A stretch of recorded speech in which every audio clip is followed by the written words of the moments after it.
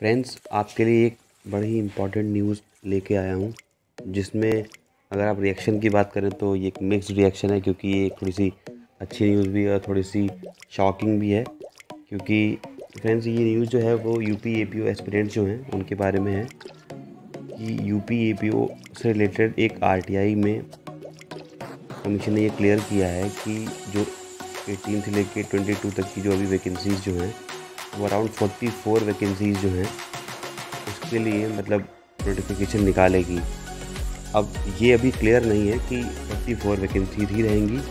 मतलब आरटीआई में जो आंसर दिया गया है, उसमें ये है कि फोर्टी फोर वैकेंसीज़ की अवेलेबिलिटी है।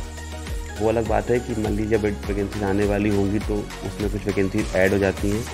ठीक है या फिर वो साथ ही साथ कुछ और वैकेंसीज भी अनाउंस कर देते हैं वो हम तब बोल सकते हैं जब ऑफिशियल नोटिफिकेशन आता है।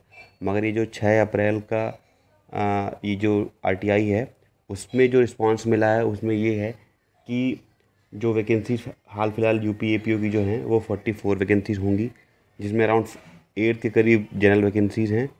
तो ये थोड़ा सा सरप्राइजिंग भी है कि हम जो एंटिसिपेटेड वैकेंसीज थी वन वन फिफ्टी के अराउंड लोग मान रहे थे या कुछ और भी र्यूमर्स थे या कुछ तरह से कुछ न्यूज़ भी थी।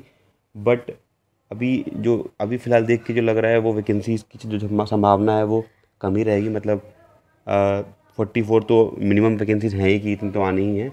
अगर कुछ ऐड होता है या कुछ वैकेंसी बढ़ती हैं तो अलग बात है। फ़िलहाल हाँ ये न्यूज़ काफ़ी ज़रूरी थी आप लोगों को बताने के लिए तो इसलिए मैं हो सके आपके साथ शेयर करनी चाहिए। बाकी आप प्रिपेयर रहिए, इसी तरह से यूपी जुडिशरी का भी बहुत जल्द कुछ ना कुछ नोटिफिकेशन आने वाला होगा। और ये खैर, हालाँकि इमेटेरियल है कि चावालीस वैकेंसीज हैं या कितनी हैं, आपकी प्रिपरेशन अगर अच्छी होगी तो आपका सिलेक्शन डेफिनेटली होगा। तो आई होप ये आपको इन्फॉर्मेशन थोड़ी इन्फॉर्मेटिव लगी होगी।